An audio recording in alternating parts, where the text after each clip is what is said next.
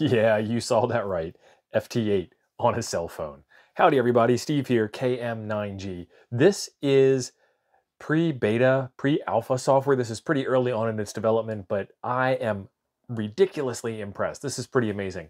This is FT8CN. There will be a link in the description down below so you can play along and have all the fun that you want.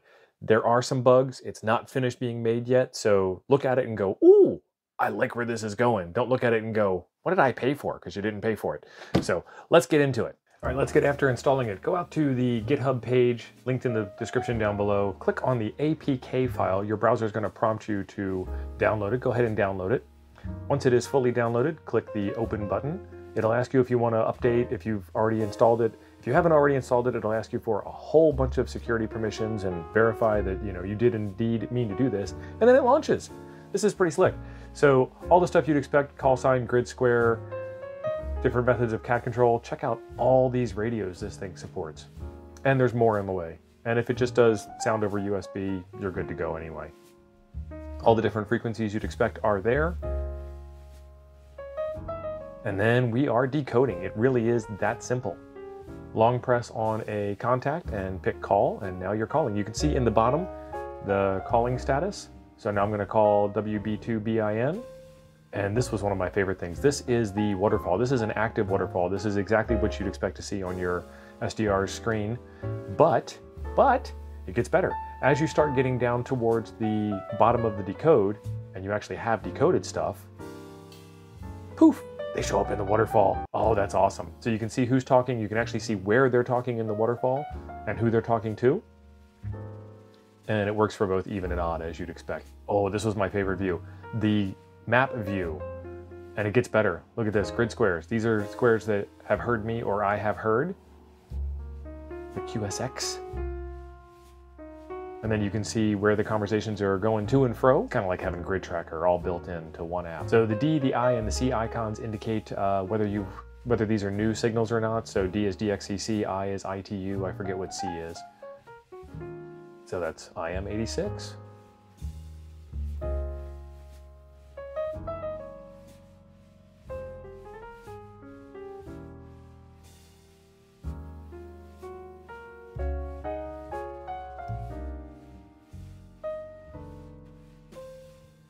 That's a station that I worked before. EN35 is me.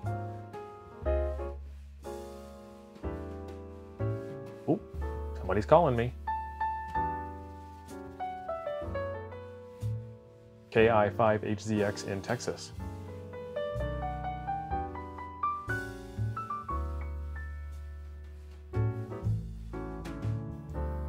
So that's pretty neat.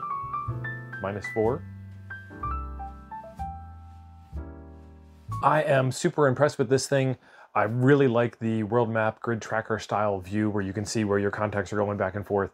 I can see this being a much better thing to do than crossword puzzles on your cell phone while you're pretending to watch TV. You know, we all know that you're doing FT8 contacts on your phone. This reminds me of SDR control, but it is available for Android. It will work over USB, it will work over Wi-Fi, it will work over Bluetooth, it will work over smoke signals. I don't know. I think I ran out of things it'll work over. He's got a lot of radios that are listed in there as support. This is a pre-alpha app. This is 0.86 version of this software and there are some crashing type bugs and so forth. So don't expect this to work 100% out of the gate. Like I did, take a look at this in terms of, oh my God, this thing is amazing. I just love where it's going and I want to try this. If you want to try it, there is a link in the description down below. If you're watching on your cell phone, click it now, go do it. If you've got a 705 that's set up for Wi-Fi, you can do the whole thing right from where you're sitting, hopefully. Um, I tried it with the X6100 and the 705 because those were the two radios that I had handy. But any radio that has the ability to be controlled over USB will work. And look forward to more and more updates as this thing comes out. There's a video right over here I think you will enjoy next. Thanks for being awesome. I'll see you over there.